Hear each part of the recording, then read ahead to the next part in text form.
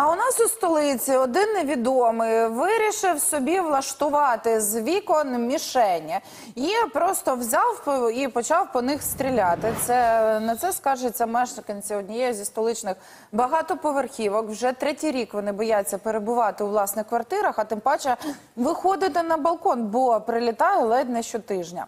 Хто ж е, цей стрілець і що в результаті йому світить? Про це знає Аліна Люшина.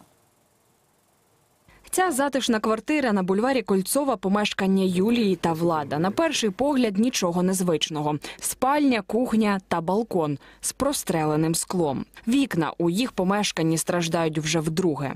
18 лютого нам е, вистрілили просто в скло, і це вже, до речі, другий раз. Перший раз прилетіло три роки тому у спальню. Тоді за помешканням доглядала Юліна бабуся. Саме вона побачила дірку у вікні і звернулася до охоронця будинку. Втім, той вирішив, що ймовірно винні діти, які кинули у скло камінець. І через день, пробиваючи на 11-му поверсі, вже зрозуміли, що то не діти камінцем пробивають. Уже почались випадки, випадки, і отак, от уже на протязі трьох років Місяць тому історія повторилась, прилетіло на балкон. Тепер до вікон у своїй квартирі дівчина підходити боїться. У мене якийсь такий тремор ввечері починається, хоч у нас і в день прострілили, але от ввечері я, наприклад, боюсь вийти на балкон. В мене є молодша сестра, яка у нас буває на вихідних стабільно, тобто два дня.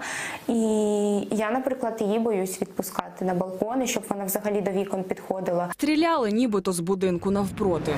Траєкторії прямо десь е, четвертий, п'ятий, е, шостий поверх, десь так. Це був висновок баліст. Да, це був висновок баліста. Мешканці цього будинку ще від початку будівництва багатоповерхівки були проти. Постраждалі стверджують, стріляли саме звідси. Втім, хто це може бути, досі невідомо. А рядом же ж поліклініка дитяча і зелена зона. То вони не хотіли, щоб там будинок був. Не хотіли. Перший раз чую. Не володію такою Не знаєте, хто це може? Не знаю. Чесно, не слышала, щоб хтось стріляв. стрелял. Тим часом мешканці багатоповерхівки страждають щотижня. Через кілька днів після Юлі прилетіло до квартири Марини на першому поверсі. У вікні досі круглий отвір. Сказали, що поки не міняти, так як можуть прийти слідча група і щось робити, досліджувати може місце злочину. Люди бояться, тому що в нас є такі випадки, що і людина знаходилась на балконі, і в цей момент е, стріляли саме по її вікнах. З чого стріляли, невідомо.